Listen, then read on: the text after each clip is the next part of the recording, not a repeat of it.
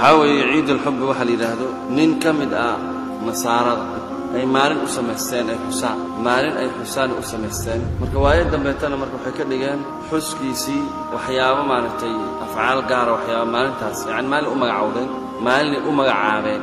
Nasaaraduna maalin walba oo maalmaha sanadka ka mida dadkay weyneeyaan mid ka mida xusaan. Xus xuska tiradu ka bata xuskooda aad u tira badan annasaara ciida. Marka ciido badanay leeyihiin marka mid ka mida weeye waagii dambeetana waxay ka dhigeen dhar gaduudan in la gashado ubaxyo laysku diro waxyaaba maaragtay si gaara loo sameeye la iibiyo waxyaaba. Marka arrinta ciidka dhigashadu ciidka dhigashadu waa arrin tawqiifiya ciid in la sameeyo iyo dabaaldeg iyo sanad guuro iyo maalin la weyneeyo waa arrin sharciya wax allaale waxay sharciga khilaafsanna waa bidca.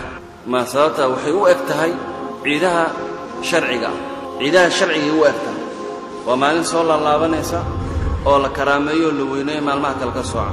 Sharciga qof haddii marka uu sameeyo maalin kale oo sida sharciga oo kaleeto maaragtay sannadkii mar soo laalaabanaysa oo la weyneeyo oo acmaal gaara lala imaado waa mudaahaa mushaabaha in lala imaado waa shay bidca. Ah nabigana calayi slat slam wuxuu sheegay in ummaddan ay qaadi doonto waddadii ummadaha ka horraysa laa tattabicunna sanana man kaana qablakum xadwa alqudati bilquda xataa low dakhaluu juxra dabbin la dakhaltumuuh.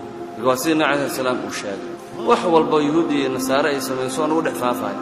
Wax walba ay sameeyaan lama hada albaab marka arrinkaas waa shay muxarama maadaama uu ka imaaday diinta mushrikiinta maadaama uu yahay ciid maalin laga dhiganaayo maadaama uu yahay awalan diinteenna diinaan ahayn wax laga keenay maadaama uu yahay ciidka dhigasho iyo maalin la maamuusayo diinteenna aysan maamuusin.